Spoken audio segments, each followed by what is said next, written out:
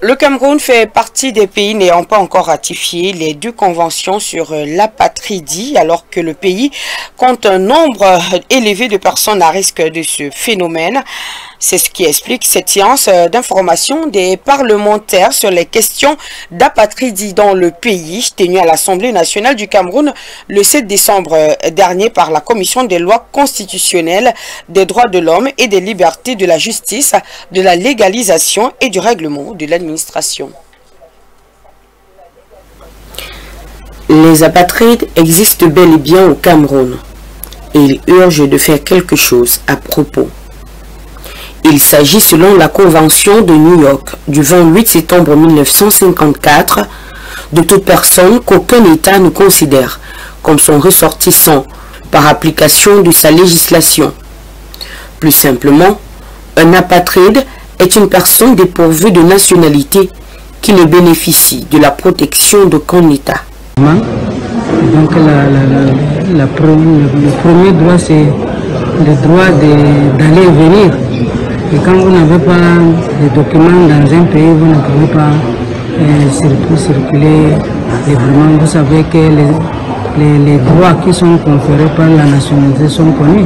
Mercredi 7 décembre 2022, la Commission des lois constitutionnelles, des droits de l'homme et des libertés de la justice, de la légalisation et du règlement de l'administration a organisé dans la salle des commissions A du Palais des Congrès de Yaoundé une séance d'information des parlementaires sur les questions d'apatridie au Cameroun. Il y a des conventions qui existent, il y a des législations que les États prennent et donc le a souhaité informer les parlementaires pour qu'ils jouent euh, le rôle dans la réduction de ce phénomène qui peut euh, compromettre les droits fondamentaux de certains citoyens. Vous savez, quand on n'a pas de nationalité, on ne peut pas avoir accès à certains avantages, on ne peut pas voter. Une séance d'information conduite par le président de la commission, l'honorable Zodol RCS, en présence des responsables du Haut Commissariat aux réfugiés, représenté par M.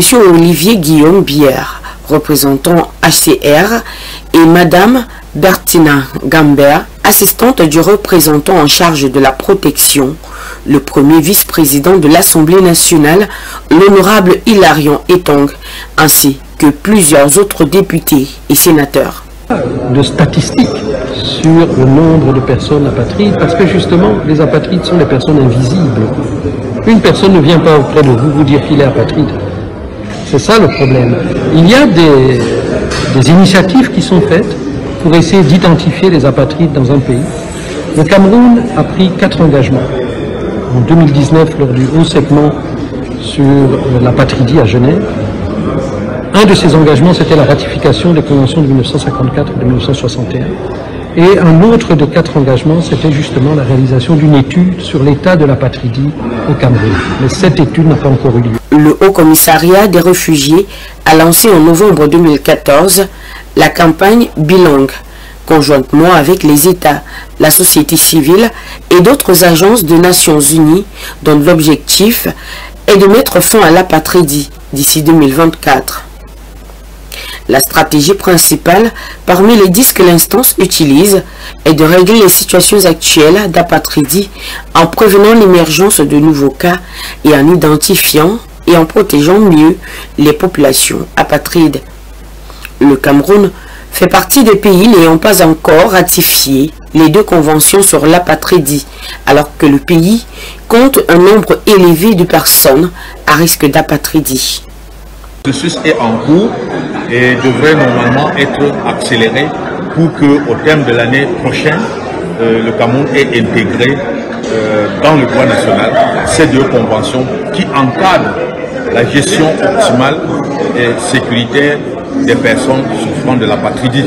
C'est ça le centre d'intérêt.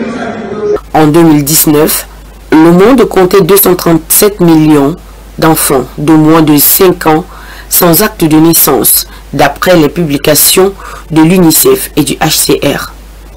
Avec 94 millions de personnes apatrides, l'Afrique subsaharienne est la partie du monde la plus concernée par la notion de la